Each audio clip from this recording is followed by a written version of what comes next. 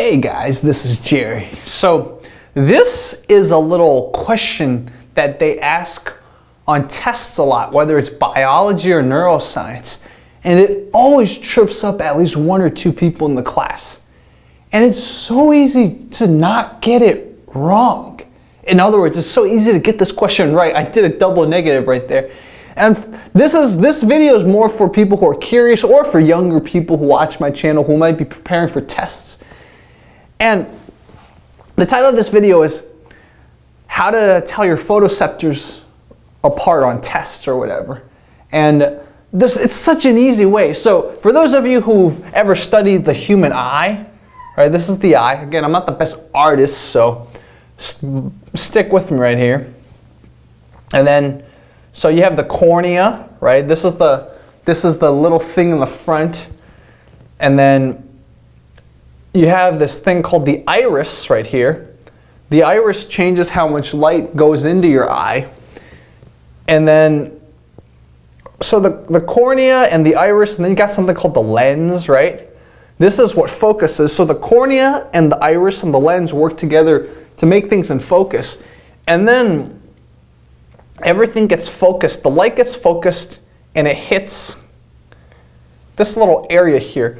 The thing, this, your, your eye is basically wrapped around by a layer of cells that make up what's called the retina. This is a really bad drawing. I'm so sorry, guys.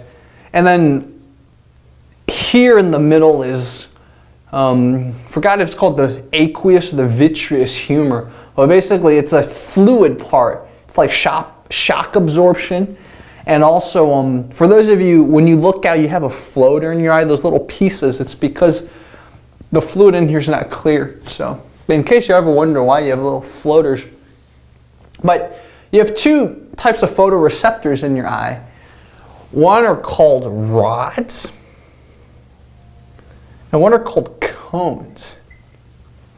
So, I might have spelled rods wrong, by the way. It doesn't matter. Screw my dyslexia. Anyways,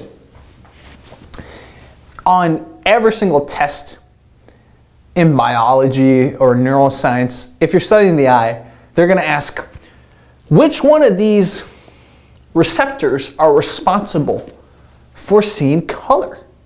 Is it rods or is it cones? Take a wild guess, which one? And here's, here's the trick, it's so simple. Cones, you know why? Color, cones. You can literally just use this little memory shortcut. Color, cones, see color. That's all you need to, but every class where I've had to learn this and take a test, one or two students I see gets this wrong. It's like, don't, don't think too hard. Color, cones. Cones are, are the photoreceptors in the retina responsible for seeing color. Rods are basically, if you ever walk around at night and there's not a lot of light, right? You can still see, but things are more blurry. So rods are responsible for that. Rods are basically, this little area here is called the fovea. This is where you, your cones are concentrated. When you really need to focus in the day, like this is this is where this is where shit happens. But at night, the reason why you can't see as clearly, one, because the rods are not meant to see as much detail as the cones, but two, not everything's getting concentrated in the fovea.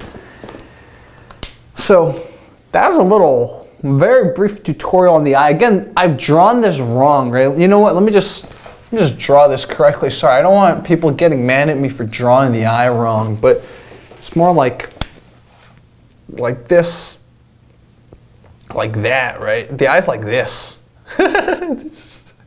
My drawing sucks. I'm so sorry, guys.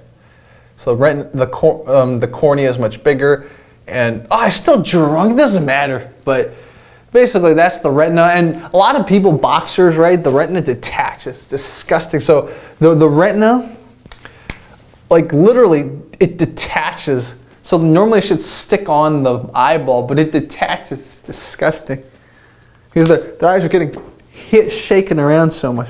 But anyways, sorry, I, am totally going on tangents. Rods and cones, two types of receptors in your eye that help you help process the light into something that then gets sent to the brain to get interpreted. Rods interpret the the stuff that's more sort of not detail oriented and related to lighting conditions and cones are all about the colors.